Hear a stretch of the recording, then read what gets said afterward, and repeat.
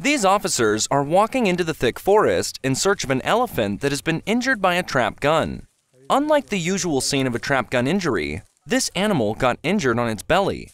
You can't see it at a glance, but someone has noticed this and informed these wildlife officers. The officers had to clear the path and go to the side of the elephant.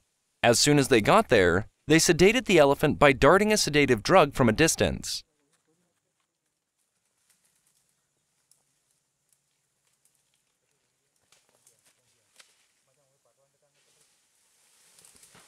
In a few moments, the elephant fell down sedated.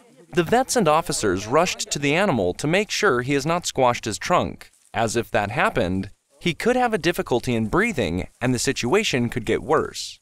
Anyway, to treat an injury on an elephant's belly, he needs to be in a reclined position. The wound is a big one, much bigger than expected. It is surrounded by flies and filled with maggots. Although this animal looks quite fit right now, this wound could quickly turn into an infection which could do severe damage to his body organs. Hence, this treatment is essential. Even though the animal is sedated, it is difficult to predict its behavior, as it is in a lot of pain. Therefore, the officers decided to tie the elephant on its legs to a nearby tree using ropes, while the vets started preparing the required drugs. According to medical experts present here, the elephant's pulse rate is normal. He looks all right in his physical appearance, too. That means he is well fed and is healthy, if not for this putrid wound.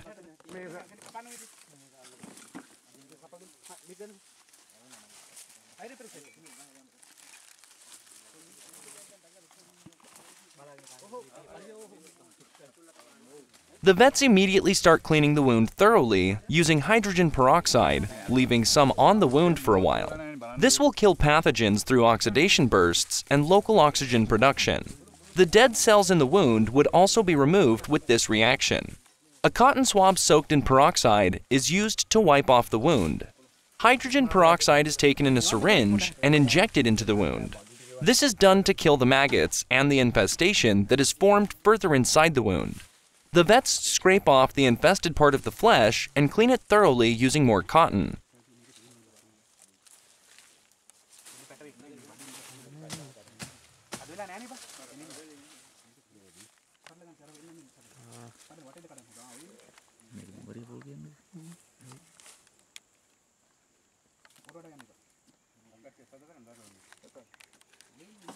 Gloves එකෙන් gloves එක වල නැද්ද? මේ කෙනාව. ආ gloves එකෙන් සමා. සමා ග්ලව්ස් එක දාගන්න. මෙතන. කොලම් කොලම් දාන්න. මඩ මේ මේ ටික දෙන්න සර් දාන්න මේ ඉතින් දාන්න කොලම්. ඉතින් මට මේක අරන් දෙන්න පුළුවන් ටික.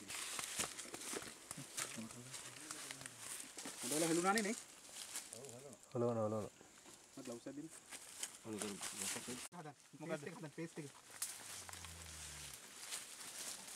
ඒකලා තියෙන කාට බලන්න කපන්නේ ඒක ලොකු ම- මසලයක් තියෙනවා බය වෙන්න එපා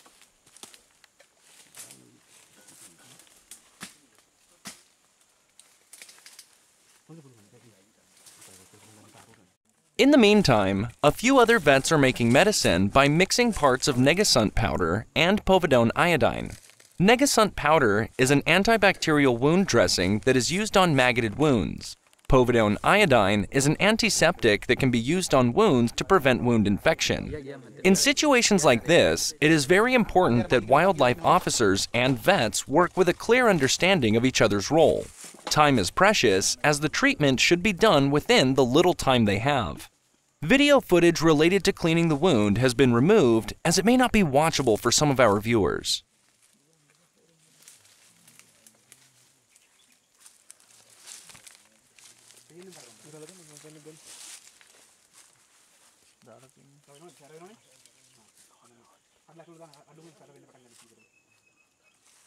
ලොට් කළද ලොට් කම උඩ වෙලා ආයෙ කමන්නේ මගන්න පන්න ඉන්න බෑනේ කියන්න බෑ හා උඩ වෙලා තොරණ හරි හරි ඉඩ දීලා කියන්න බෑ ඉඩ දීලා කියන්න කට ගහපන් කෝකක් කියලා හරි ළඟට කට දෙටි ගන්න දෙටි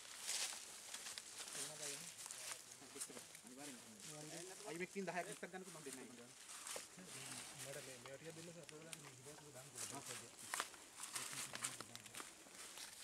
in addition to cleaning and treating the wound, essential medicines such as antibiotics, multivitamins, and painkillers are also given through intramuscular injections. These medicines will work efficiently to prevent infection, boost immunity, and manage the severe pain the animal is experiencing. When treating an elephant, especially in this condition and environment, a large group of experts on the subject is needed. They need to work together towards the same goal of rescuing the animal. Veterinarians and wildlife officers are dependent on each other for interconnected tasks which make each person responsible for the accomplishment of the same. That is exactly what we see here. While some officers clear the surroundings, some others assist the vets to clean the wounds, some prepare the medicines, and some are keeping an eye on the behavior of the animal.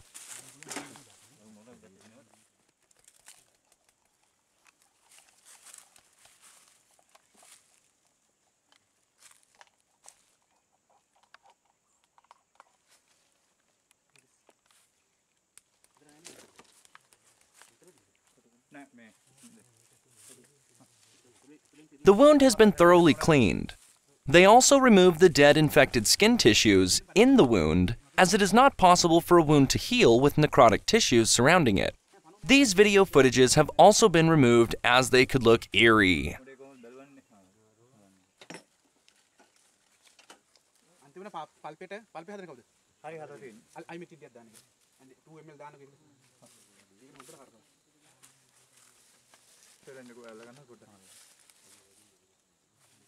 The medicine the vets made earlier by mixing Negasunt powder and povidone iodine is stuffed into the wound. Some of it is applied around the infected area too. In addition, povidone iodine is also injected into the wound using a syringe. This magnificent creature has suffered so much because of this injury. These are deliberate injuries done to wild animals as a result of the human elephant conflict. For some luck, this animal was spotted by people as one that needs help. If not, the plight of this animal would have been far worse than the footage we had to remove. To end the treatment, they spray an antibiotic on the wound and the injection sites. Before reviving the elephant, they need to de-rope the animal carefully. They also clear the forest and make a way for the elephant, which will be of convenience to him when he is up in a while.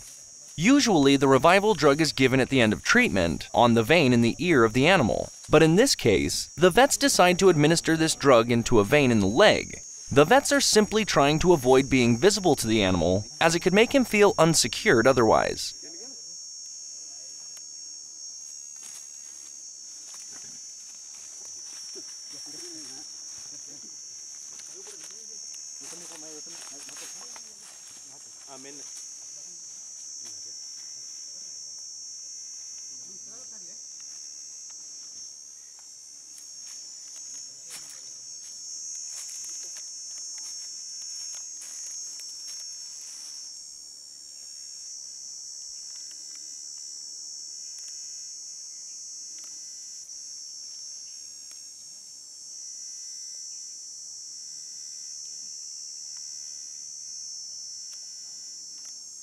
The vets and officers all wait to see any sign of revival from the animal.